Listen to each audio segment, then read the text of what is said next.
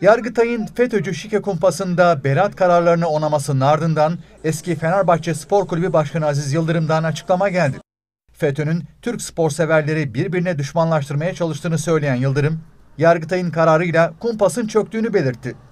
Bugün gelinen noktada evrensel hukukun temel ilkelerine aykırı bir biçimde 10 yıldır kanıtlamaya çalıştığımız masumiyetimiz Yargıtay'ın beraat kararlarını onaylamasıyla tescillenmiş oldu.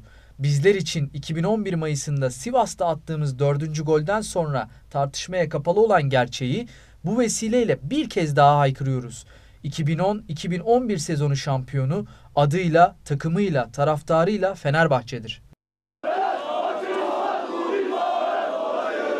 Hesap vaktinin geldiğini belirten Yıldırım, kumpas sürecinde kendilerine destek verenlere de teşekkür etti. Hiç alakası olmayan soruların sorulduğunu gördüm.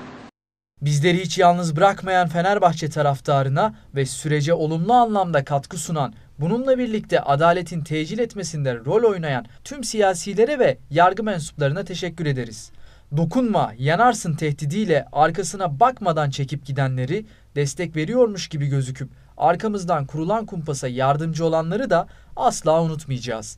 Şimdi Fenerbahçe'ye ve bizlere 10 yıldır bu acıları yaşatan tüm herkesin hesap verme vakti. Sabırsızlıkla bekliyoruz.